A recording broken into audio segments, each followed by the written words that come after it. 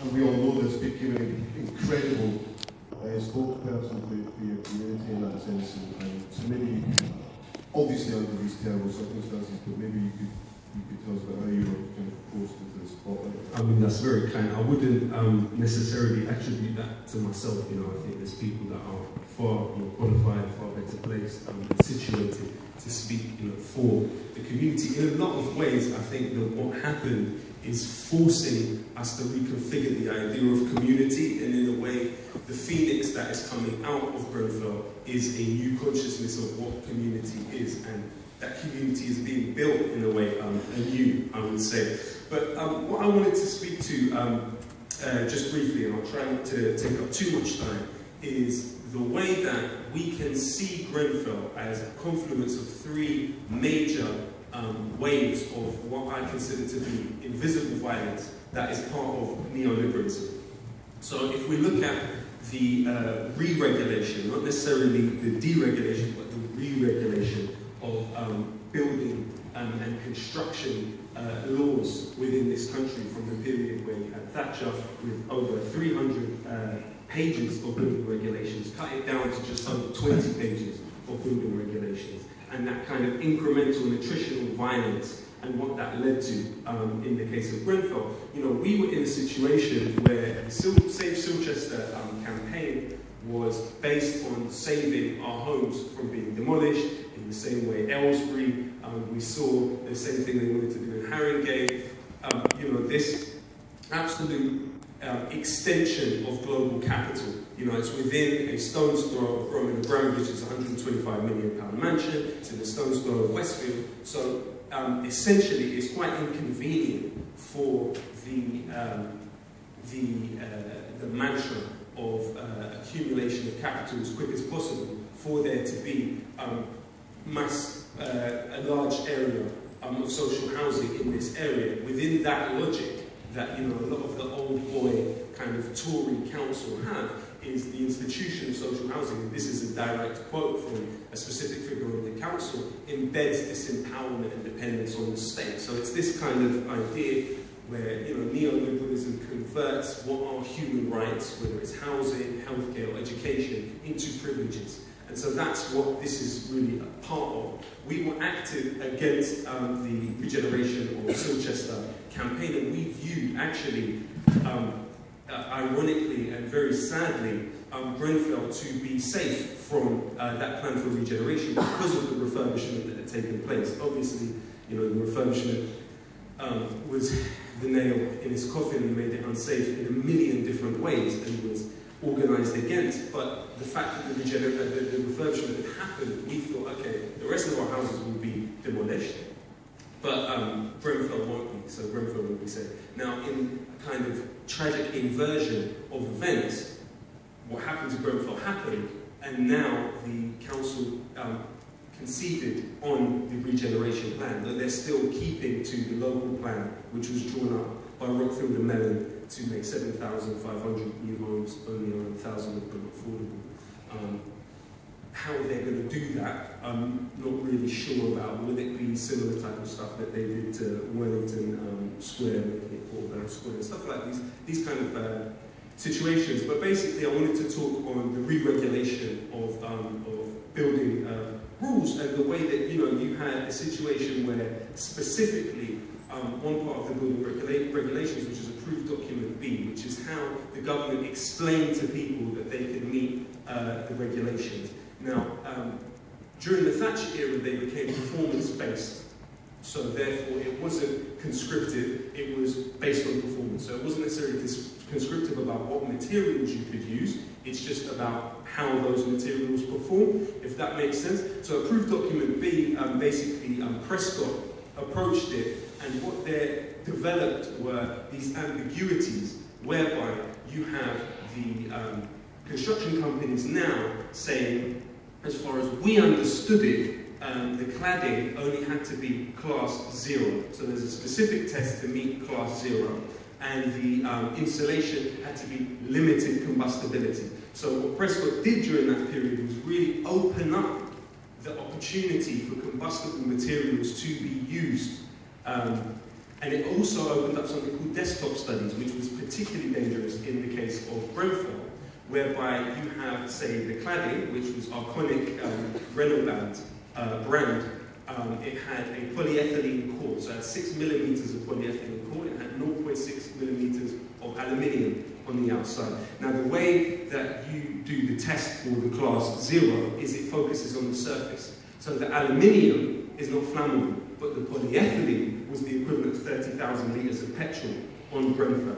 So you could get away with passing the cladding as class zero because it's just the surface which is aluminium. The second part of it was RS 5000 Celotex, which has since been taken off the market, obviously, and passed a BRE um, test. So the Building Research Establishment was privatised in 97, similar kind of period. Um, and what that meant is that BRE, according to Sky News, not according to me, became partially reliant on um, investment from foam insulation companies. Now, the foam insulation companies, previous to the Kyoto Agreement, couldn't sell their wares um, in this way because they were dealing with stuff that was largely combustible.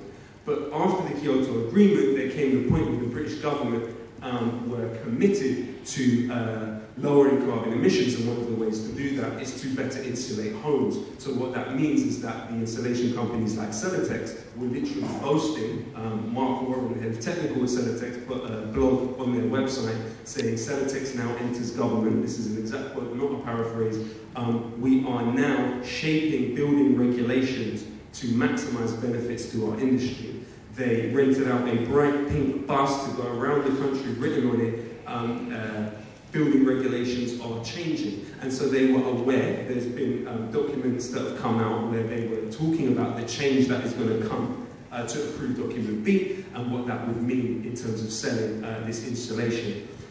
And so the point is with desktop studies that was allowed by approved document B um, when the president changed it was um, rather than you taking these two components, so the insulation and the cladding, and testing them together to work out how flammable they'd be, could take the independent results of the test on the insulation and the independent results of the test of the cladding, and someone who's not an expert from those companies puts them together on a screen on the desktop and says, this should be okay.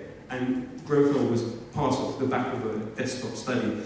The other point of the building regulations, which is massively um, important, is the role of BRE in that when you go to them as a construction company to do a test on your um, material, you pay them £15,000 in Watford this is, and you do the test yourself, and then you describe the test. So what happened was Celotex um, did the test and came out in January of this year saying, actually, we misdescribed the results of the test.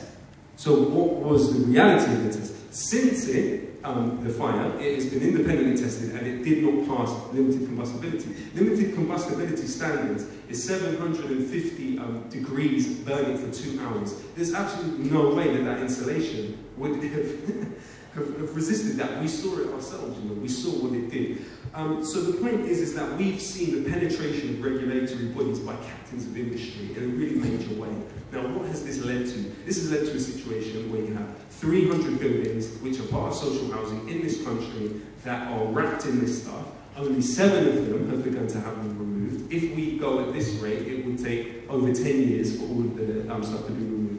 The other um, important issue that this is a confluence of that has been touched on um, before is the role of local government within this kind of nexus. The local government becomes a conduit of corporate power. Now, we're in a situation um, specifically where leaseholders in Greenwich and Croydon who are in buildings, Capital Quay in Greenwich, for example, they're in a building that is wrapped in this cladding, and they've been told, the leaseholders, that you have to pay £40,000 and, and in Liverpool too, I, I, was not aware of that. And, and the leaseholders have been told you have to pay £40,000, you know, in Greenwich. and Croydon, they've been told you have to pay £30,000 service charge.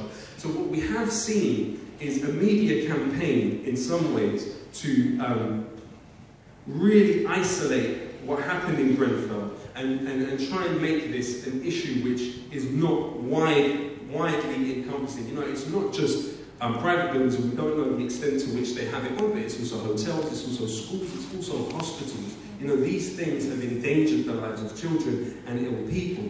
And so local government in that way is literally serving as a tool of corporate power in, in that case. You know, an RBKC specifically on the issue of, of, social housing in the borough in September 2016 took a payout of 33.4 million pounds to a construction companies in exchange for those construction companies escaping the requirement for affordable housing in the buildings that they're, they're building. And so the point is, is that this is actually set by local government, and, and, and I'm sorry, um, national government, and local governments are using these ways of dealing with private companies all across the country. So private companies are coming and literally paying them to skirt the obligation to build affordable housing. So the results of this, in a situation where you have 1.2 million people on the waiting list for social housing in this country, you have 300,000 people according to shelter homeless. You have 1 in 59 people in the capital homeless. You have literally more space in this country used for the building of golf courses than for the building of housing. 2% of the country is used for the building of golf courses,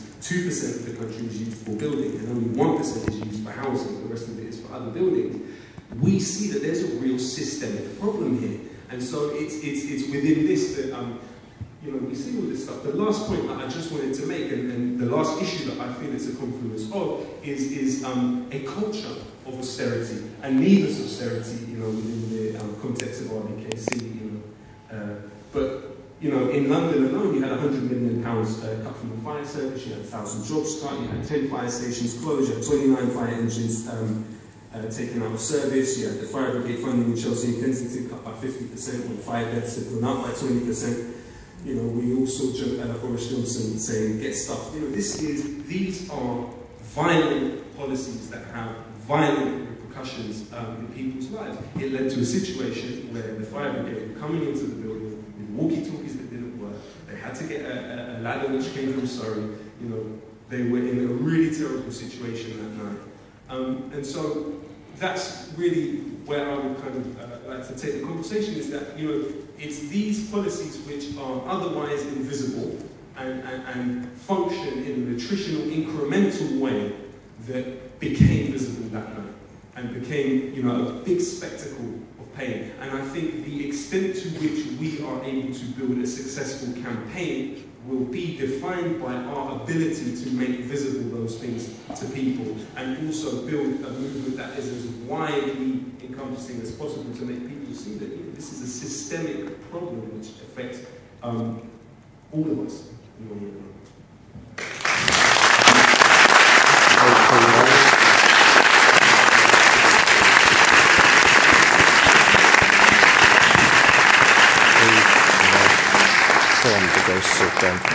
You've opened up a, a, a huge area, and I hope we will get back to this.